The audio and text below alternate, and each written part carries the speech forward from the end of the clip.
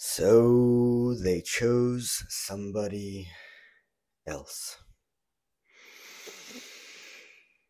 Right? They they they chose somebody else.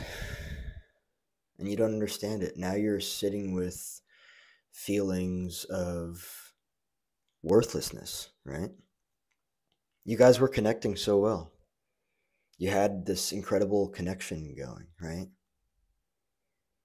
Did they ghost you? They ghosted you, didn't they? They just went cold. They stopped responding to you altogether, didn't they? That's the reality of it, right? they chose somebody else. They did. What if this isn't actually what you think it is, though?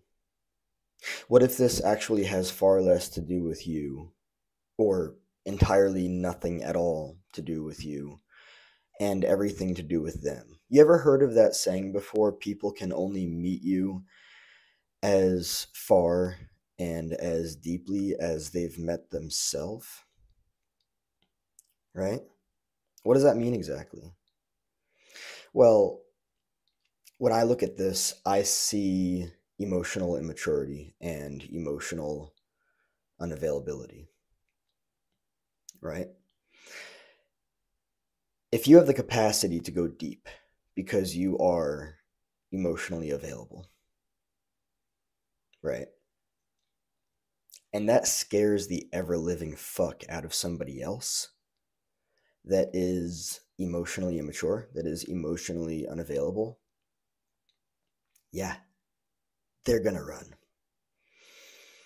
They're going to choose somebody who is far more surface level, far more superficial, right? If being connected to you means that somebody else is probably going to be required to face their fucking demons, to face their fucking emotional shit. And they are instead emotionally immature and emotionally unavailable. You are goddamn right that they are going to run and choose somebody else. It's not you. No. They run away from themselves. It's not you that they're running away from, actually. Let's let's make this even more clear, practical, and understandable. you are not the unworthy piece of shit that you are spiraling into believing you are because this person was deeply connected to you. I'll validate it. Yeah deeply connected to you, and then all of a sudden they just fucking up and left. And a week down the line, you find out that they are talking to somebody else. You find that they have chosen somebody else. The reality of the matter is that it's actually not you they're running from.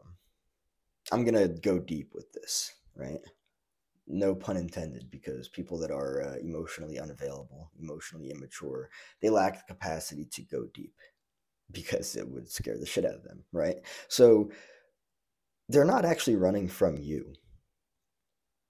They're not. You've just presented the potential of going deep, and that scares the shit out of them because that would require them to go deep. Right? They're not not choosing you because of anything that has to do with you. It's that they're not choosing themselves and it has everything to do with themselves. They're running away from themselves. And that's the reality of it. So when you've had this really good connection with somebody, right? You're you're deeply connecting with them and everything. You're sharing trauma, you're learning about their story, you're learning about their life and everything, and it feels fantastic, right? Oh my god, you've never been seen like this before. Whew. This is incredible. Right?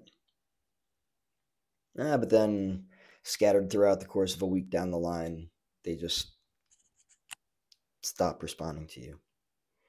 And then somehow, some way, you know, because we're in uh, 2024 and we have social media and we can find out that somebody's been talking to somebody else, which is fucking crazy. And uh, it's not good or bad, but it's very unhealthy for us. I mean, we do it to ourselves You find out that they're talking to somebody else. You find out that they're actually in a relationship with somebody else. What the fuck? We had this incredible connection. Why is this happening? God damn it. This sucks. But they're not running away from you. They're not. See it for what it is. It's not you. It's them. They're not running away from themselves. Uh, they're, they're not. They're not running away from you. They're not. You're not. You're you're you're you're not the issue. they run away from emotional intimacy like it's the fucking plague because they haven't met themselves that far yet. They haven't met themselves that deeply. So it's not that the other person that they're now choosing is better than you. This is not a game of better than worse than. It's not good or bad. It's just that the other person is surface level. The other person is superficial. And that's not good or bad or right or wrong or anything like that. It's just the way that it is. And that feels like home to the other person. Why? Because they're terrified of looking inside of themselves. That's the reality of it, right? So you can save yourself from spiraling. You can save yourself from, you know, the chaos and the disaster of going into the darkness of believing that you're all of a sudden well, I mean, not all of a sudden you've believed that this entire time this person is just another reinforcement of this belief that you are, in fact, not really in fact, but a worthless piece of shit. Oh, all these people leave me. You're attracted to people that are emotionally immature, emotionally unavailable, likely because your trauma marred you and scathed you that way. Your trauma fucked you up that way over and over again. Be attracted to people that walk away. I'll use runaway instead. I like that better. Be attracted to people that are emotionally unavailable, that are emotionally immature. Right? That's what your marring and scathing did to you. That's what your trauma did to you. It taught you to be attracted to people that are emotionally immature, emotionally unavailable. Right? But you want to get deep. You can get deep. It Probably has to do with your trauma too. Right? This person didn't leave you and choose somebody else because you're not good enough. No. Well, something to look at for yourself potentially is um, the dynamic of boundaries.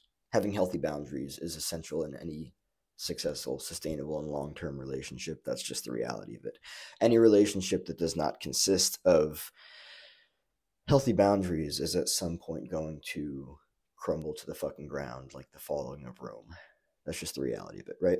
Um, but they didn't leave you and choose somebody else because there's something wrong with you because you are a worthless piece of shit. No, they that's not the reality of it. No. Um, they left you and chose somebody else probably because you were going deep with them and they were like ah, I can't do this. I don't know why I go British with that stuff, but anyway, um that is what happened. And they were like, let me go find somebody that is surface level, that is superficial, that will not require me to go deep because I can't go deep because there's nothing there. I've got nothing there, and that would be terrifying to realize because I'd be required to go deep with them. Excuse my absurd British attempt. Crikey, there's nothing there. Oi, mate, there's nothing there. oh, shit. I have to look at my narcissistic lack of self core. There's nothing there. That's fucking terrifying, mate. yes, it is. and that's clearly why they've left. I mean, it might not always be why they left, but um, if you have a deep emotional connection with somebody, or so you believe you do, that's what you've experienced with this person over the course of uh, I don't know, um, a week, a month. By the way, way too fucking fast. Way too fucking fast. Speed is a red flag. Um, but if you've had that with the person, right? And then all of a sudden they're just like gone in the blink of an eye, right? And then you're like, fuck? Holy shit, they're with somebody else. I'm not good enough, right? I'm not worthy. No, no, no, no, no, no, no, no, no.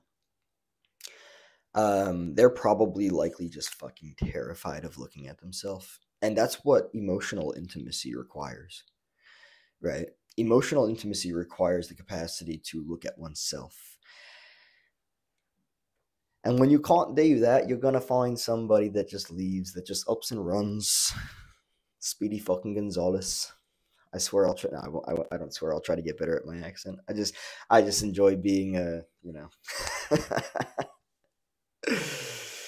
yeah, it's not you. It's not. But I would go right the fuck ahead and stop chasing that. Stop looking for it. Stop um, messaging it. Go no contact. Delete. Block. See ya. Sayonara. Yeah. Good motherfucking riddance. Yeah. Um, let me just make this very clear if I haven't already. People that are emotionally immature are emotionally unavailable and they are incapable of long term, sustained, healthy emotional intimacy. Right. Um, so if you've ever found yourself in a situation with somebody like this where like the connection was incredible, right? Or so you thought so. And then all of a sudden they were just like gone like that and they went with somebody else you know you can you can save yourself from spiraling into a depressive episode of unworthiness and understand that it actually has nothing to do with you they run away from themselves like they're avoiding the fucking black plague. It's just the way that it is. You can't save them. You can't. You probably were trying to anyway. You can't. Let the other person deal with their bullshit because that other person will probably leave them too at some point. Yeah, it's just the reality of it.